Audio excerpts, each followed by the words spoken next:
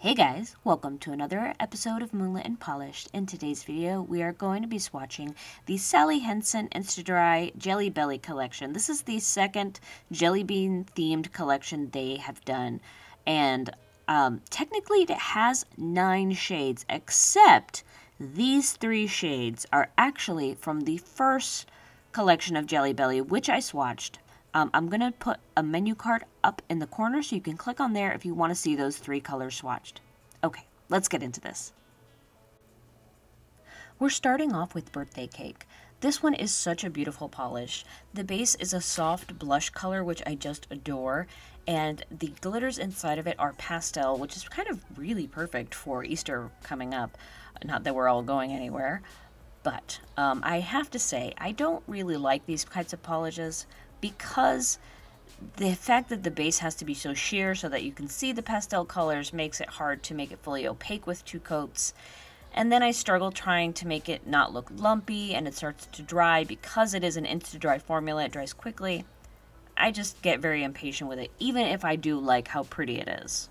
So if you're one of those people who can just make this thing work for you, I do recommend buying this polish because it is so beautiful to look at. Next is French Vanilla. This one is exclusive to Ulta, which I saw in a comment that they responded to someone's question as to why they couldn't find it. The Sally Hansen people responded that it was exclusive. This is actually my favorite jelly bean out of like all their jelly beans. I love the French vanilla ones, which I had at a wedding. A friend of mine had them there on their little candy bar, and it was really sweet. So I absolutely love this polish. I love the idea of the white with little black glitters underneath. I do wish I was able to compare the polishes to the jelly beans like I did with the last collection, but I couldn't find the ones I needed online. And unfortunately, obviously because of the COVID virus going around, um, people are staying home and I have asthma, so I need to be extra vigilant. The next one we have here is Jewel Very Cherry. So they did a Very Cherry in the last collection, but this one has a jewel tone and a sort of shift to a blue from a pink, I think. Um, it's not my cup of tea. It reminds me of a bubblegum ball I got from a machine once. I don't know if you guys ever remember they because they had like the plain bubblegum balls, but then they had these ones that had like iridescence to them. And I remember when I bit into it, it was really gross. And I think it was because of what they had to use to make it look this way.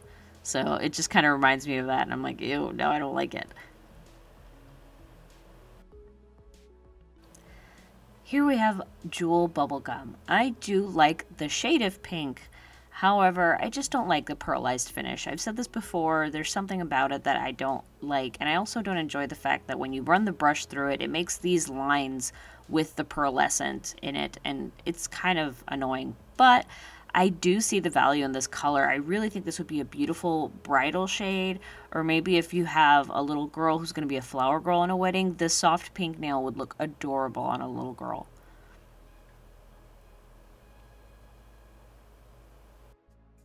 I did want to take a second to say that even though the prices say $5.59, that's the Ulta price. Target's price online is actually $3.99, so you can get them there cheaper.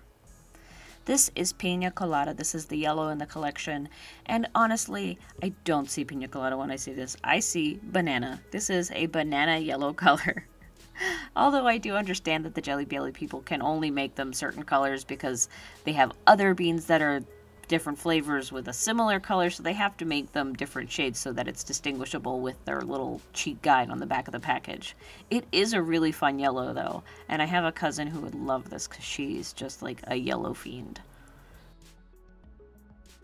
Here we come to the last in the collection. This is Cotton Candy, and it's my favorite. It is the perfect blend of pink and coral. It's you look at it, you're like, oh, it's coral. But then you look again and you're like, no, it's absolutely pink. No way it's coral but it's both and I love it. It's so beautiful.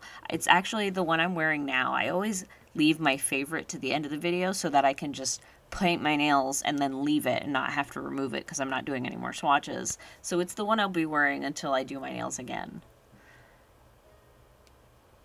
Ugh, it's so smooth and beautiful after two coats. I am in love. So that's it for the most recent release of the Sally Hansen and Jelly Belly nail polish.